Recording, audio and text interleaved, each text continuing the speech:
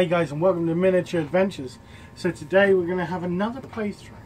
But today it's going to be Warhammer Quest Shadows Hammer Hammerhal. Um, now my son and I we have Silver Tower and Hammerhal um, and we're going to do a series I think on these. Um, we were going to start with Silver Tower which is technically comes first. But we, we thought we'd go with this dynamic of a DM and my son. And we may have a few guest people along the way playing different characters and just kind of mix it up.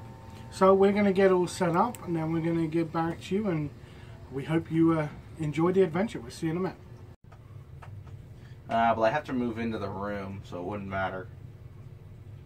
You could use the Destiny to move in and then... I already used one, Oh, I so it wouldn't matter.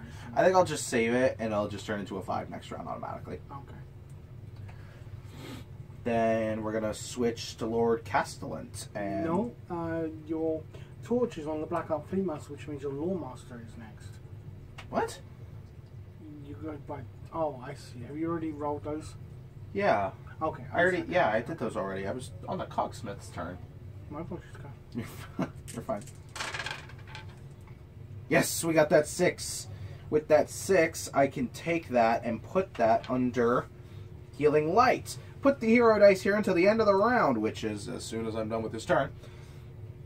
When you remove the dice, remove a wound marker from all heroes in the party who are on the board, so the Lore Master will be completely healed. However, the Black Ark Fleet Master will not because it's not because it's a grievous wound, not a regular wound. Unfortunately, or does it? No, it I does- can't support. I can't uh, heal grievous wounds. No. That's unfortunate. But it should it'll heal him for his turn when he starts up. Um, but we're gonna go ahead and actually just do some searching for Lord Castellant. And the enemies in, or are you going to move them into? Uh, You could use the last destiny to move in. I could. I can make it there in two dice. Oh no, I can't because I have to go around him, don't I? No, no, no. You can go Oh, through. you can move through. Yeah. Oh. oh, we said that earlier, didn't we? Yeah, you Um, just can't land on him. Uh, I would. I would land on him. Well, you could go to the two in front of him and then use the next dice to come in. Fair enough. We'll do that. I'll just pull the three and go one, two, three. Yeah, and then. And then one, two, three. Just go to the center of the room. Oh, when you set off a trap. No, I'm just messing. I hate you. I thought I thought I did for a second. I was like, oh crap. Um, let's search for a six. Nope. Search for a five. Yes, got it. Okay. So, Tell me what I get. I was the next contestant on The Price is Right. mm-hmm. And the price was right.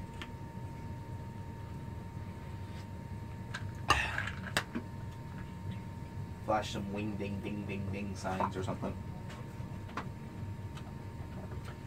okay. Do I get any gold? Yeah, you get the gold. Yay! Pushing a loose brick reveals a hidden doorway. Please be a secret door. Please be a secret door. And you have found a way out of the dungeon. Whoa. Hmm. Do I want to go through this or no? That will take you to one quest. Mm, but there's more to offer in this one. And also more ways to die, maybe. I don't want to die. I guess I have already died in this one before. Several times, actually.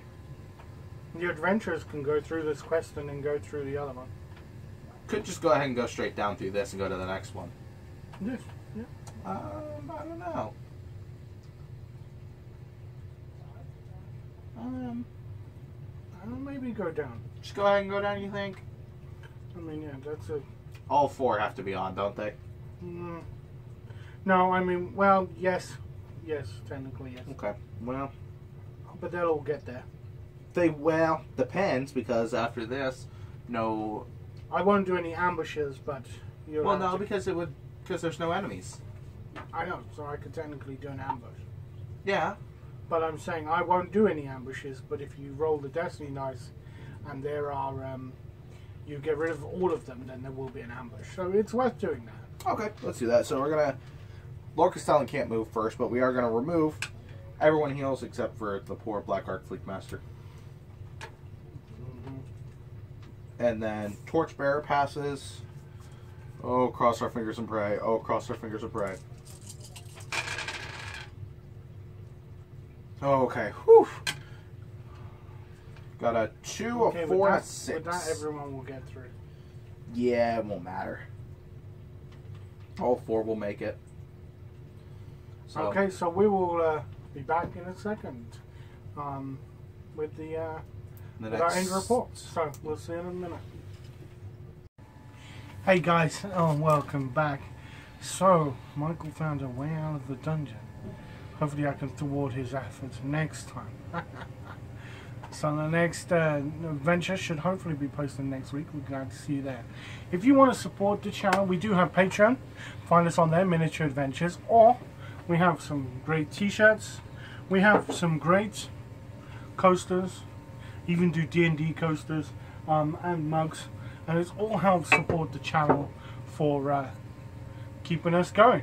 So, if you want any of this merchandise, just head over to Hollingdale Hobbies on Facebook, and uh, we'll be able to order the uh, bits for you there. So, from all of us here at Miniature Adventures, keep on gaming, keep that plastic and metal crack in your system. We'll see you next week. Goodbye.